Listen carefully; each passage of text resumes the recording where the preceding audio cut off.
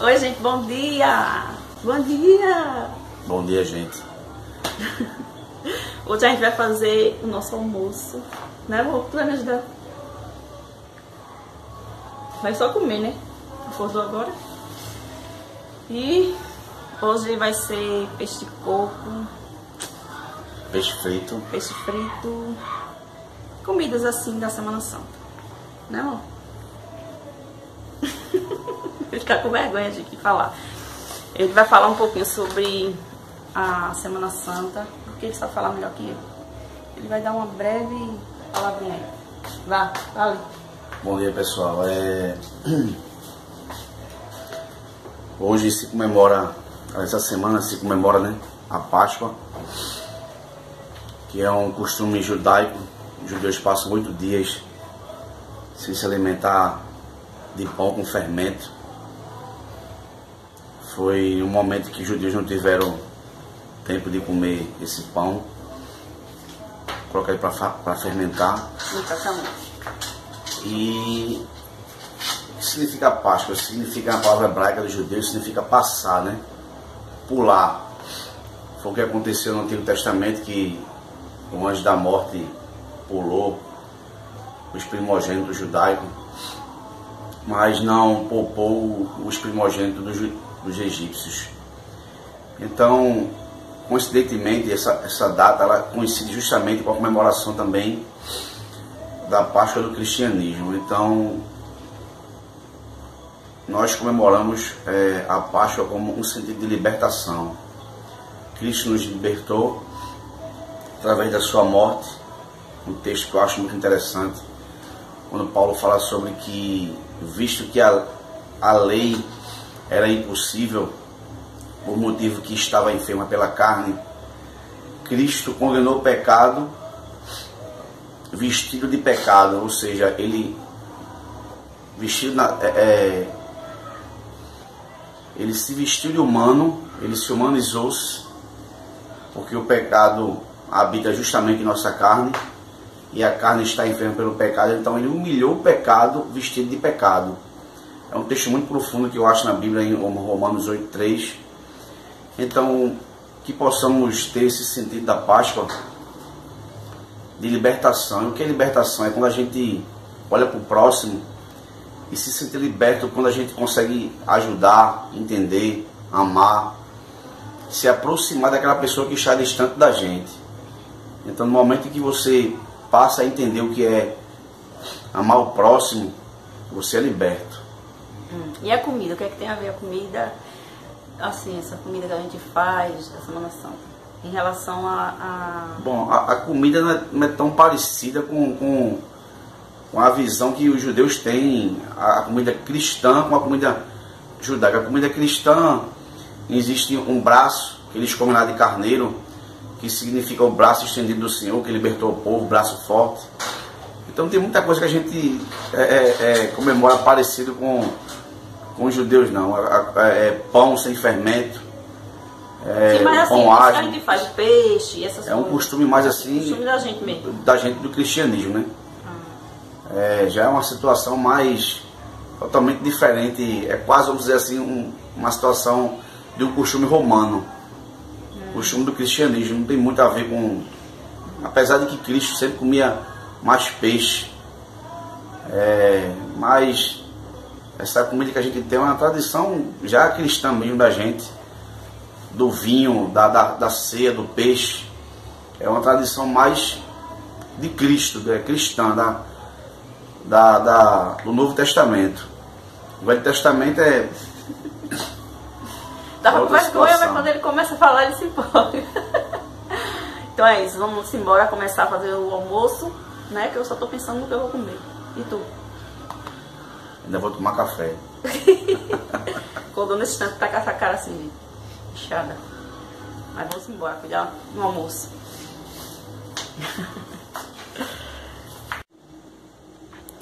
Bom, aqui temos montanha de peixe congelado. Esse peixe aqui é corvina, eu acho que é assim o nome. Ó, já comprei assim, ele já cortadinho. Já tem assim, né? Já, como é que se diz o nome? É tratado, isso. Só falta agora temperar. Eu vou esperar ele descongelar mais um pouco. E vou colocar limão, sal. Vou colocar os temperinhos e vou mostrar pra vocês, tá bom? Então, enquanto aqui ele vai descongelando, gente, eu vou começar a fazer meu arroz. Peguei aqui, gente, girimum, tá? Que eu vou fazer um purê de girimum de coco. Vou começar colocando o alho. Esse alho foi o mesmo que fiz, tá? Aquele alho que eu faço. Já mostrei aqui no canal. Um pouquinho de óleo. Um pouquinho só. Vou colocar um pouquinho de açafrão, gente. Eu nem coloquei ainda no potinho que eu comprei ontem. Eu já vou colocar no, no vidrinho. Eu gosto de colocar... Eu gosto de colocar açafrão porque o açafrão deixa o arroz bem amarelinho. Agora eu vou colocar aqui pra dourar e já vou lavar o arroz.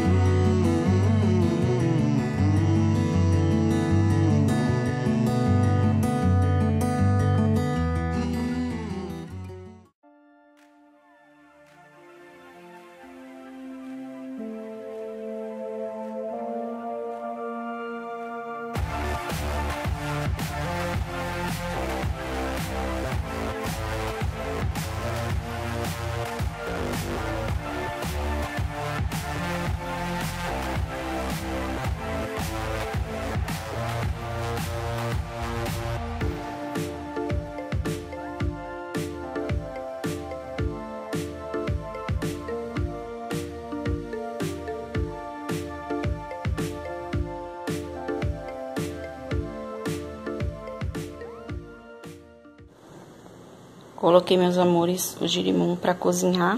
Só coloquei sal, tá? Água e sal. Aí depois eu vou vir dele cozinhar, vou bater no liquidificador com leite de coco fresco.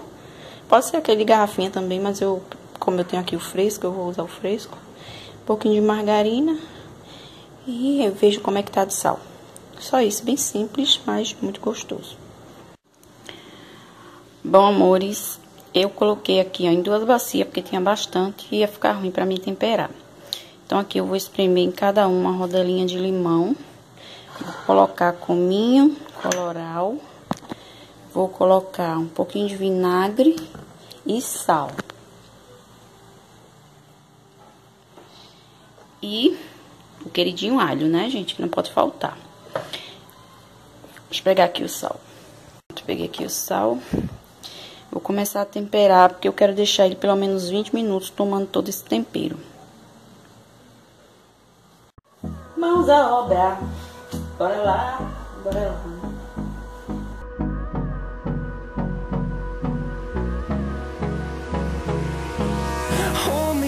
Till I get up. Time is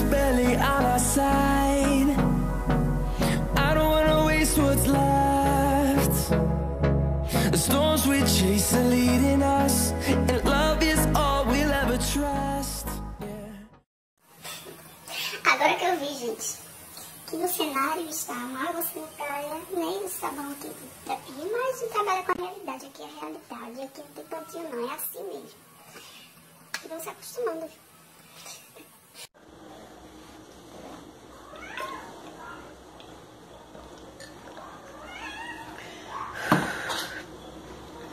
Essa é a realidade de quem teve que parar o almoço para ir correndo no mercado. E chegou morrendo de calor, gente, com sol que tá de 40 graus. Aqui, ó. Vou mostrar as coisas que eu comprei. Não tem ovo de Páscoa, mas a gente tem caixa de bombom, né? Aí comprei um quilo de sal. Disse a vocês estava sem sal, um quilo de sal. Uma coca. Pra gelar, porque tá quente. Peraí que eu vou separar aqui as coisas pra mostrar pra vocês. Gente do céu, que calor. Comprei cenoura. Comprei coentro. Pepino. Alface. e bredo. Não sei fazer isso aqui, vou aprender agora na, na internet, né? Nunca fiz bredo, mas comprei, né? Porque tem que ter bredo. Tem que ter bredo, não sei porque tem que ter bredo. Mas eu comprei o bredo. Vou pesquisar no YouTube como faz e mostrei pra vocês. Agora deixa eu só esfriar um pouquinho, gente, pra voltar a fazer o almoço. Gente, coloquei aqui, ó, o bredo. É, tem que lavar bem lavadinho e tirar as folhas do caule. Colocar pra ferver com água e sal. Depois, você deixa escorrendo numa peneirinha e tempera. Foi assim que eu pesquisei no, no meu amigo Google, né? Que eu não sabia fazer. Mas é muito simples de fazer. O girimum já cozinhou, já já começo a fazer o purezinho. E aqui, ó, já cortei tomate, cebola, pimentão e coentro, porque vai ser o molho do peixe de coco. Aí agora eu vou deixar aqui bem tampadinho, gente. Subiu agora um cheiro, porque pega um, tem o cheiro do outro, né? Aí agora eu vou colocar aqui vinagre, um pouquinho de óleo, sal, coloral, cominho, é, açafrão, esse temperinho normal. E vou botar para refogar. Mas é, primeiro eu vou começar a fritar o peixe. Bom, meus amores, eu agora vou começar a passar o peixe aqui na farinha de trigo. Faço isso para não grudar, tá? Quando for assar. Vou passar aqui todos na farinha e vou levar para fritar. Bom, amores, agora eu vou começar a fritar o peixe, ó. Já passei trigo em todos eles. Ficou uma parte ali, porque eu achei que tem muito peixe. Eu vou congelar, né?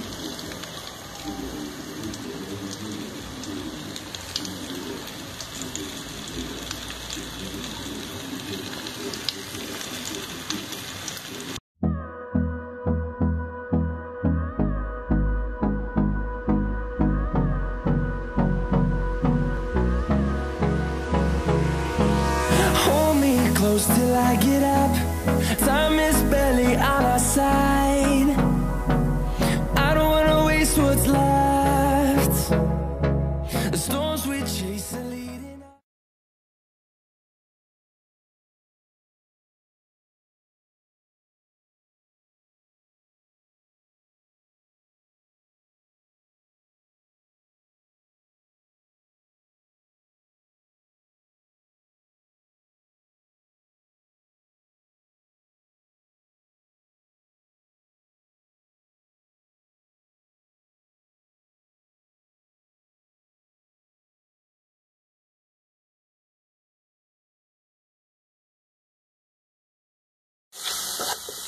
Gente, aqui eu tô fazendo tempero do bredo.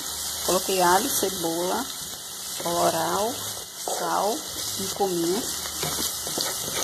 Vou refogar aqui um pouquinho. Ó, ficou pronto. Coloquei um pouquinho de manteiga, leite de coco. E ficou pronto. Peixinho de coco também tá pronto. Peixe frito também tá pronto. E arroz pronto. Só falta agora esquentar o feijão e fazer a salada.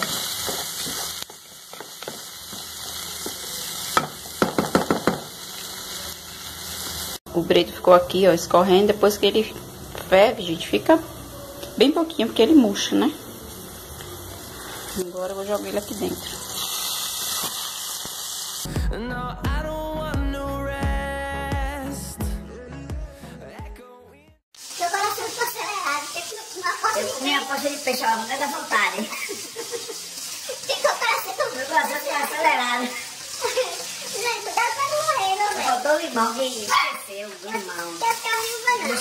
buscar daqui a pouco o limão. Mas dá prazer comer, comer é muito prazeroso. Eita. É a idade, tá ficando velho aí. Tá... Meu Deus do céu. Vou comer mais. Então, meus amores, finalizei o almoço. Graças a Deus, gente, tô azul de fome. Já é uma hora da tarde.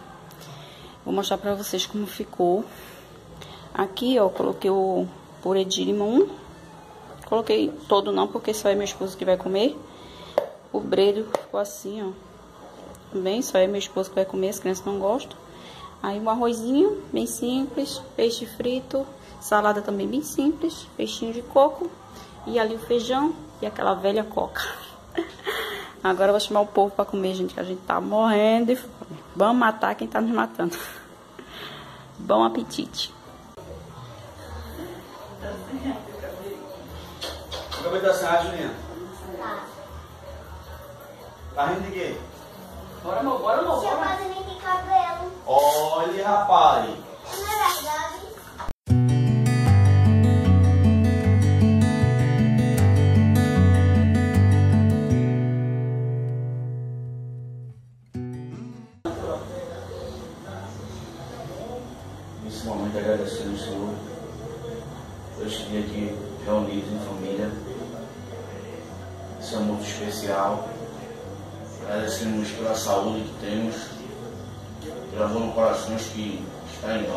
Família, pelo alimento, pelo pão de cada dia, pela condição de fazer esse almoço.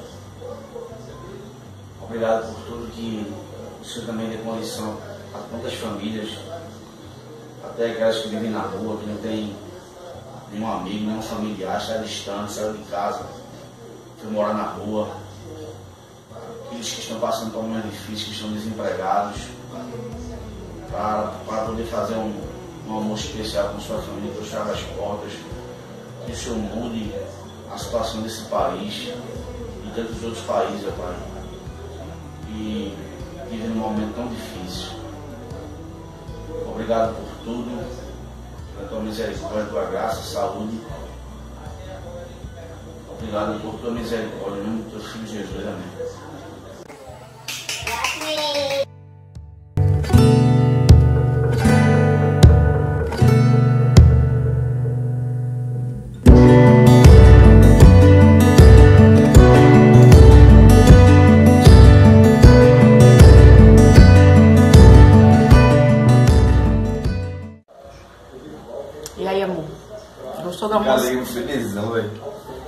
Bom. Bredo ao alho, tudo gostosinho. Peixe de coco, peixe frito. Coca-Cola, que engorda mais de vez em quando é bom. Ai, O boleto de girimum que eu amo. E agora a sobremesa vai ser o quê? Um bombom. Chocolate. Não, agora não, agora Não aguenta não, mas não? Não aguento nada, de nenhum pensamento. Que dou com um pouco de sede. Se eu tomar água agora, a barriga faz pum, estoura. Eita.